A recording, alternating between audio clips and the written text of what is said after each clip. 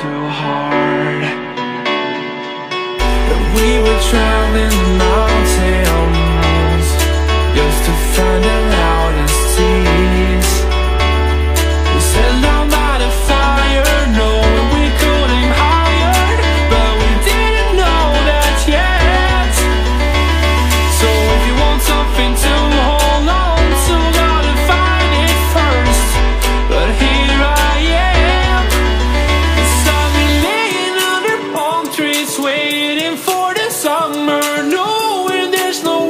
to go, cause I am happy.